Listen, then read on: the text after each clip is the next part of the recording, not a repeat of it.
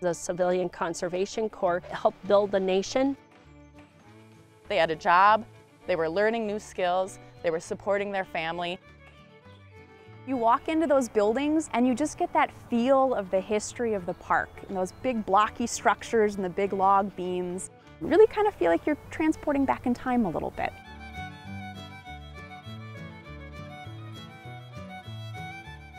Built to Last, the legacy of the CCC in Minnesota, is funded by the Minnesota Arts and Cultural Heritage Fund with money from the vote of the people of Minnesota on November 4, 2008 and by the members of Prairie Public.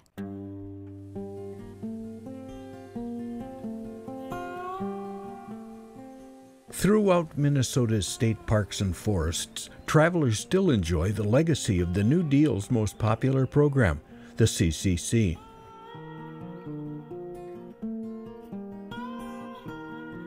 The Civilian Conservation Corps was born from the desperate need of a country in the grips of the Great Depression. And I am certain that on this day, my fellow Americans expect that on my induction into the presidency, I will address them with a candor and a decision which the present situation of our people impels.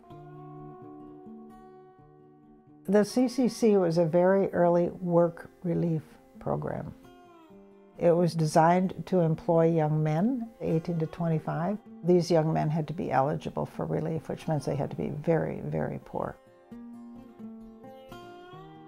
The statistics themselves are a little bit frightening. Unemployment generally across the board was at about 25%. Think about one in four people being unemployed.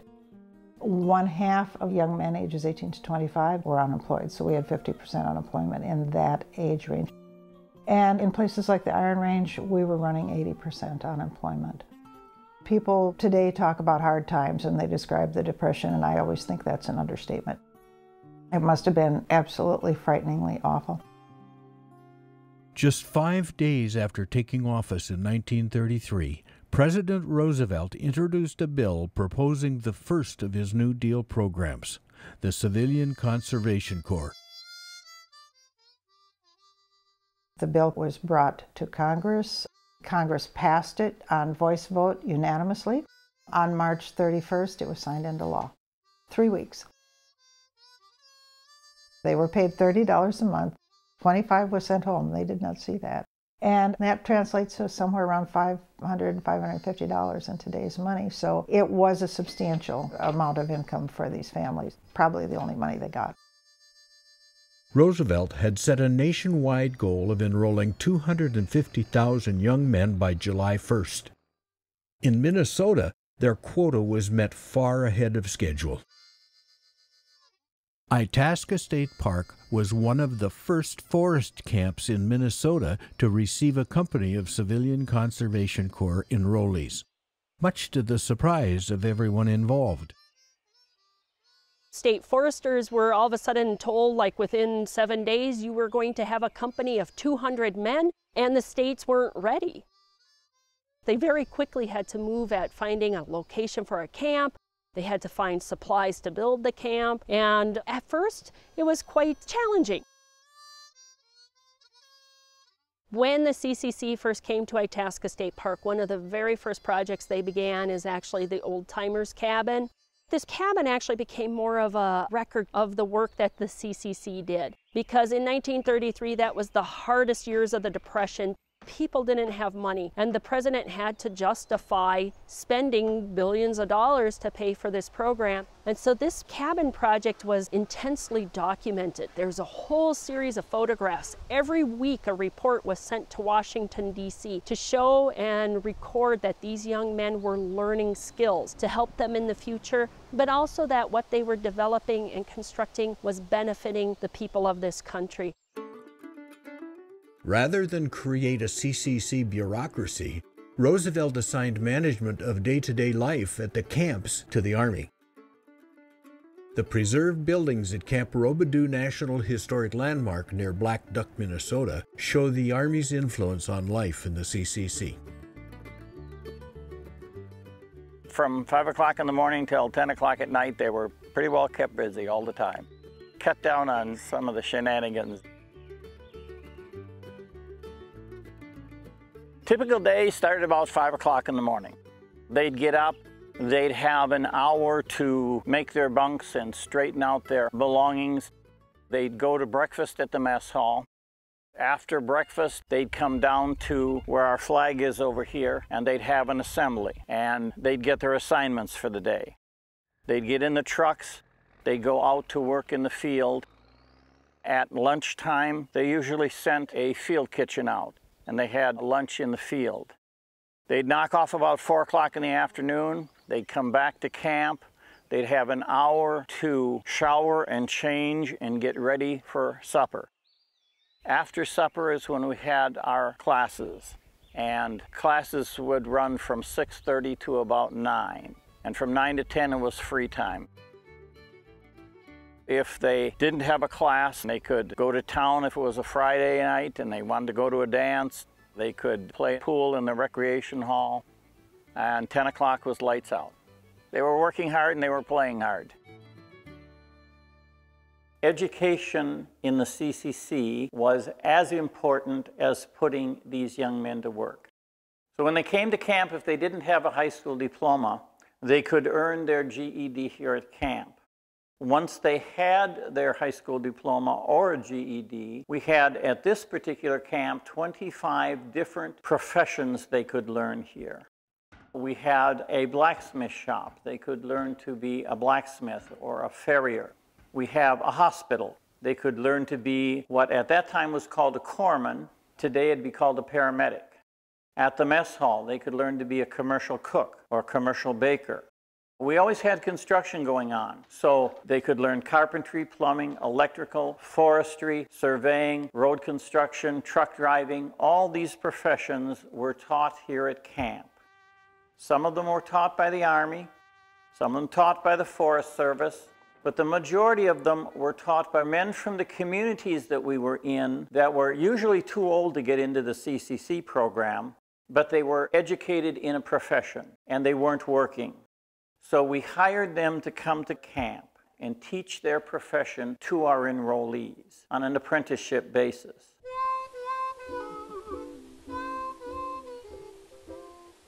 Nowhere in Minnesota will you find a more beautiful testament to the partnership of local experienced men and CCC boys than in the beautiful masonry work at Gooseberry Falls State Park.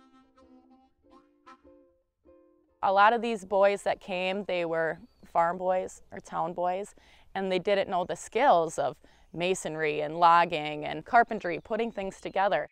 And so having these kind of role models to teach them hands-on skills was really important. And there's even a quote from one of our enrollees who said, without these men, we would have been completely lost. We have over 80 structures here at Gooseberry, and one of the biggest structures that they did was what we call the castle in the park. And that's where, when visitors came, they could park at the top of that, come down to view the falls, and there are restrooms there. It was the longest running project that they did. We have a couple neat pictures where you see five guys lifting this rock up and putting it in place. Everything was done by hand. You look at some of these buildings and it's like they put together a puzzle. With the combination building, it's now our camp shelter. You can look at different parts and they have made little mushroom shapes out of the stone or little flowers. So they got quite talented at the end. They were just a bunch of hardworking boys out here. They had a lot of fun. They had lots of different teams and activities. They had a Sawyer competition, they had boxing, they would do non-competitive sports like bobsledding and playing games in the snow. They had two newspapers, and this was completely illustrated, written, and read by the CCC boys here. And just paging through it, you get a sense of who these people were.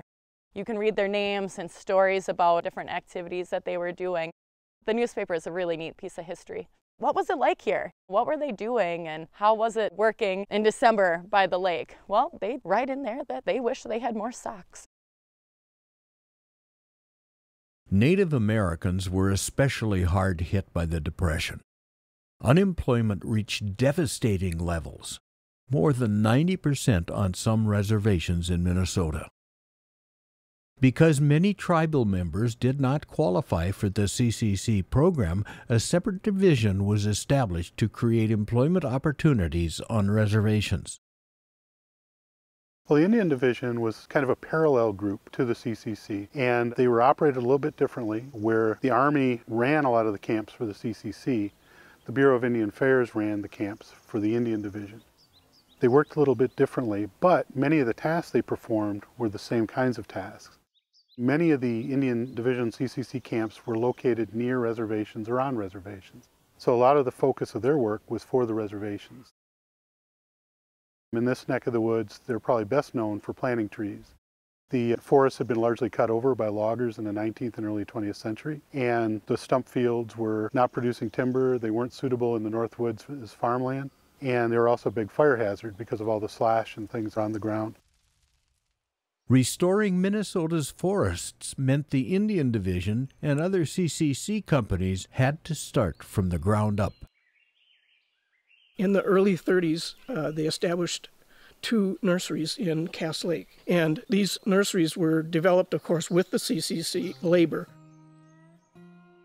There was a number of steps to the process. Of course, you have to collect the cones, go through the process of extracting the seeds plant those at the nurseries, and when they were a year or two old, those would be sent out and transplanted into the forest areas. And they produced millions and millions of seedlings. Once you plant the trees, you want to take care of them, of course, and during the 1930s, remember, that was the Dust Bowl era. And the forest was very dry, and so they did have quite a few more fires than we have nowadays. And so that was part of the job of the CCC was to get out there and fight those fires when necessary. Got to take care of those trees.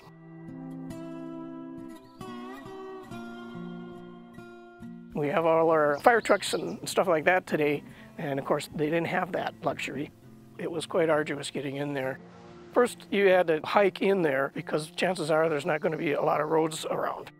You would have to take some personal supplies with you, food and water and stuff like that, to subsist on while you're fighting that fire. And you had to carry all your equipment, including the water, on your back. They had huge tanks that they would wear, and of course, then all your hand tools as well. This national forest is their legacy. They built the entire forest. They acquired the land, they planted the trees, they built the roads to get where you needed to go, they built the ranger stations to manage the forest. They just did everything here. Before the CCC, Minnesota state parks were more a concept than a reality. The twin interstate parks on the border of Minnesota and Wisconsin had been created to protect its unique geology, not to create a tourist destination. Services for visitors were almost non existent. Some of those old photos show us that the park roads were almost impassable.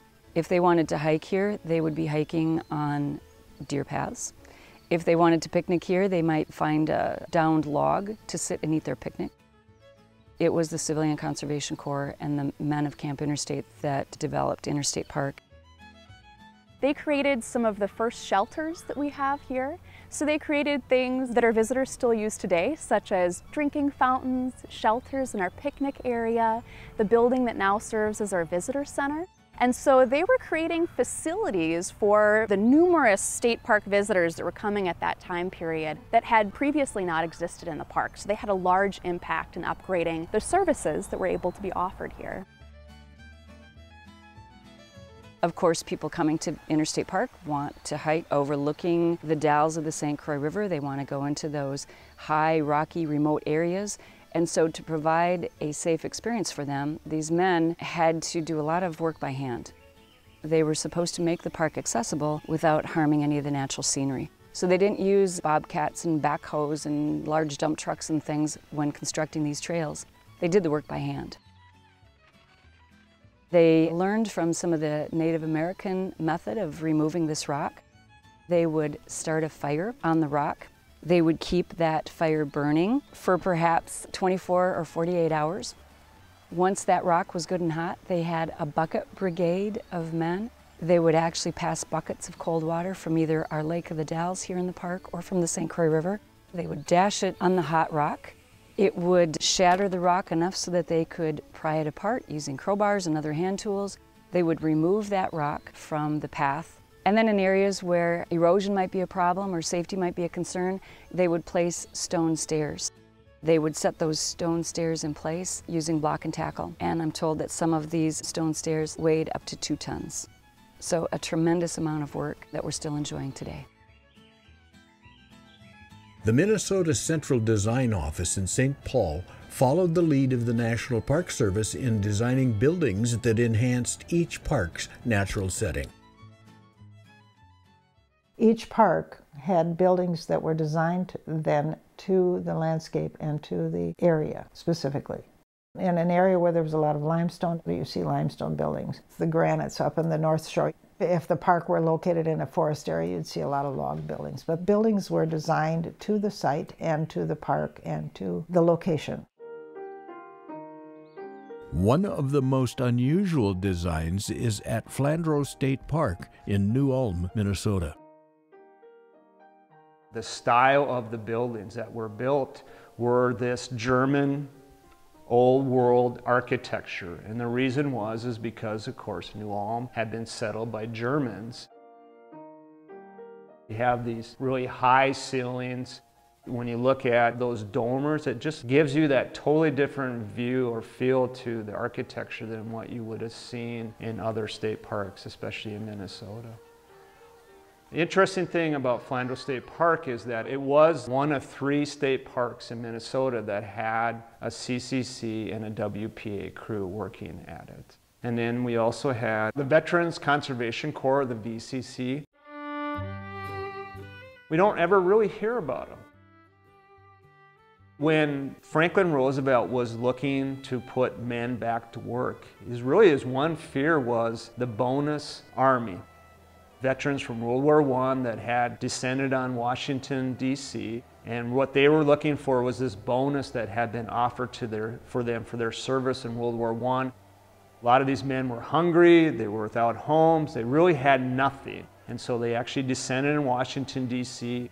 President Hoover had decided that he needed to get rid of them. And he actually sent the U.S. Army in there, and it was a disaster probably one of the reasons President Hoover wasn't reelected. And I think Franklin Roosevelt and his advisors understood that one of the important things was, was putting these veterans back to work. Here in Minnesota, they played a really significant role. Because they were veterans, a lot of them had the craftsmanship and they probably had the ability to do more than what these young men in the CCC could do. The CCC didn't just build buildings. Scenic State Park has one of the most distinctive collections of decorative arts in Minnesota.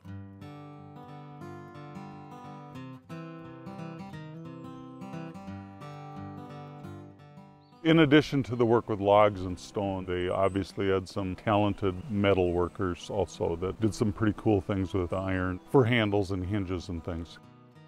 This building right near us. Uh, that's our historic lodge building, the furniture built by the CCC group. There's some taxidermy displays, some art displays from the CCC days. In the building, you'll see a very nice set of three large paintings.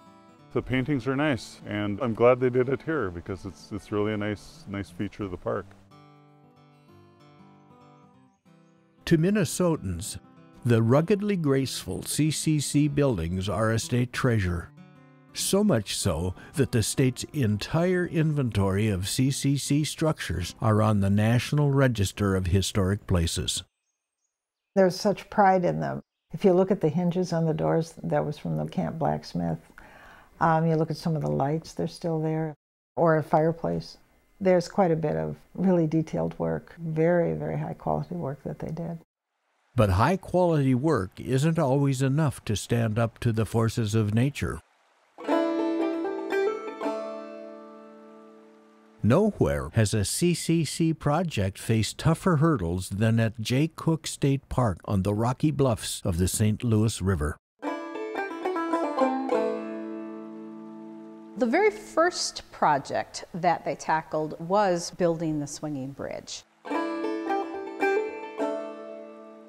The very first swinging bridge in the park was built in 1924, and that was just rope and logs that were strewn across the rocks to the other side of the St. Louis. Then in 1934, when the boys were here, they built us the permanent swinging bridge that we have out there today. So they're the ones that built the rock columns and established something that would hopefully last a little bit longer Unfortunately, that hasn't been the case.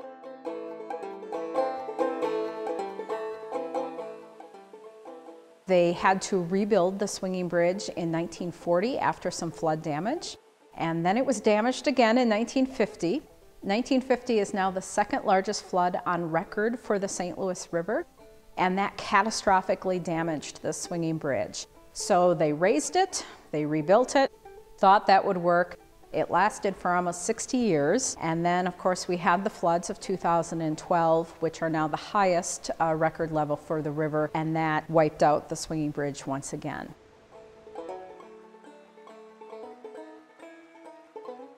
So we rebuilt it and reopened it in 2013. So the bridge we have out there today is actually swinging bridge number five. The swinging bridge, as well as all of our other CCC structures, are on the National Historic Register. So we are simply required to rebuild the bridge to reflect the original design. So we went back and we looked at photographs that we have, we looked at all the blueprints that we have, and then came up with a design that would honor the original design from 1934 and yet still be a nice strong bridge for today. We used rock masons that work on historic structures. So as they rebuilt pillars and repaired the rock, they quarried the rock right here from the park, just like the CCC boys did. And they tried to match the original design. And some of it was these are 16, 17 year old boys doing the work. They're not very experienced. And so you saw that in their construction. Now we have more experienced rock masons doing the work. They commented this isn't how we would do it today, but they tried to reflect what the CCC boys did. People were very concerned when we did the rehab here. Is it going to look like it used to? You're not going to just build a modern thing. So for people's experience that are coming to our parks, I think it's very important to them and so it's important to us as well to maintain that as well as to continue providing that experience. While evidence of the CCC is still visible across the state in Minnesota parks and forests, its most profound impact was on the 77,224 young Minnesotans who served in the CCC. It was a program that was really needed and it touched a lot of lives. There are statistics that generally enrollees gained 10 pounds and grew 3 inches or 4 inches, that 40,000 nationally learned to read. It opened doors for them to learn trades and skills, and it basically gave them, as many of them said, a new chance on life.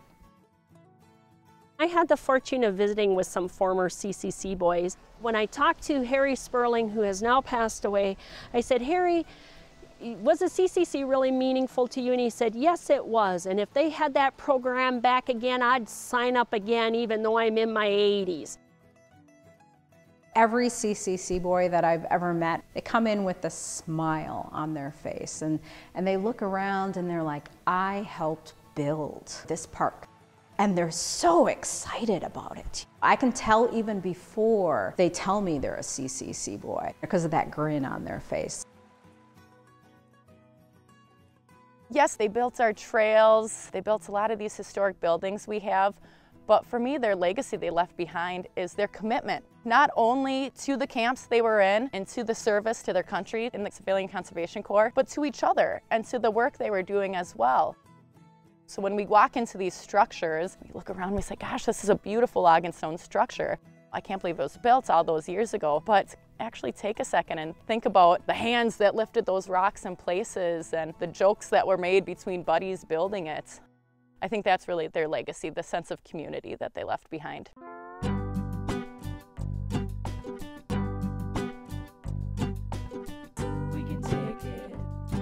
Send local boys across the lands.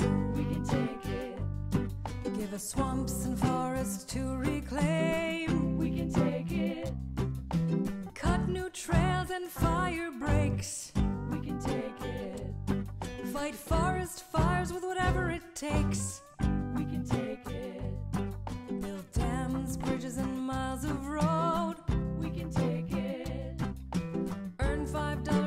25 home. We didn't live in palaces at the College of Colossal Calluses. Three and a half million men reclaimed the plains and groomed the land. Roosevelt's tree army did more than plant three billion trees. We restocked a billion fish to streams, controlled mosquitoes and of swamp, cut 28,000 trails to Trump, built 100,000 miles of road, strung just as much line for the telephone, campgrounds, buildings, 800 state parks, carry the CCC. Built to Last, the legacy of the CCC in Minnesota, is funded by the Minnesota Arts and Cultural Heritage Fund with money from the vote of the people of Minnesota on November 4th, 2008, and by the members of Prairie Public. To order a copy of this program, call 1 800 359 6900 or visit our online store at prairiepublic.org.